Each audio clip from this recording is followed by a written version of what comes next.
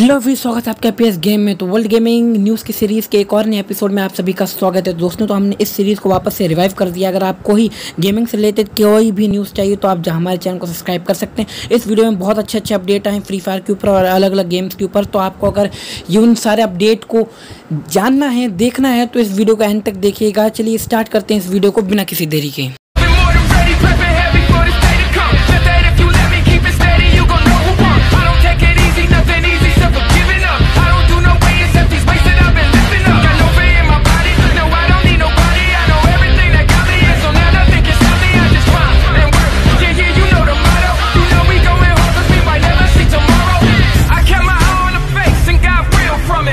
पहला अपडेट है, वो है बैच 99 की तरफ़ से, जहाँ पे उनने अपने चैनल में 5 मिलियन सब्सक्राइबर पूरे कर लिए हैं। तो उनके चैनल के लिए हमारी बहुत ज़्यादा कॉन्ग्रेचुलेसन उनका चैनल ऐसे ही ग्रो करता रहे, ये हमारी विश है। तो चलिए बढ़ते हैं हम अपने अगले अपडेट की तरफ़, दोस्तों। तो जो अगला अपडेट आ रहा है, वो है फ्री फायर इंडिया की तरफ़ से, जहाँ पे उन्होंने एक पोस्ट में बताया है कि वो एक नया वेपन ला रहे हैं, जिसका नाम है कॉड तो आप देख लीजिए, ये उस वेपन की इमेज है जो कि अगले अपडेट यानी फोर्टीन अप्रैल में आने वाले अपडेट में ये गन आने वाली है। इसकी स्पेशल एबिलिटी ये बताई जा रही है कि क्राउच और लेटने में इसका फायर रेट और डैमेज बढ़ जाएगा। आपको गन ये कैसी लगी, आप हमें कमेंट सेक्शन में भी बता सकते हैं। मुझे तो ये काफ़ी यूनिक सी लगी है। आप अपने सजेशन कमेंट बॉक्स में दे सकते हैं।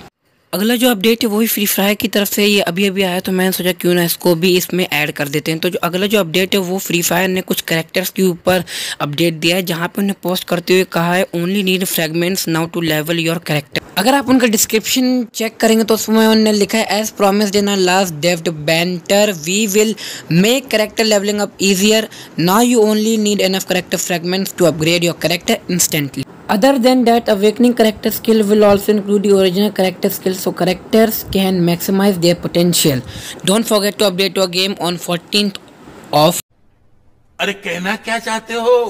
अप्रैल सो गाइज़ वो इसमें बेसिकली बता रहे हैं कि अब जब आपको अपने करेक्टर अपग्रेड करना पड़ेगा तो आपको फ्रेगमेंट्स ही बस लगेंगे आपको पैसों की ज़रूरत नहीं पड़ेगी। पहले होता था कि फ्रेगमेंट पर प्लस पैसे आपको देने पड़ते थे लेकिन अब से फ्रेगमेंट्स में आपके करेक्टर अपग्रेड हो जाएँगे।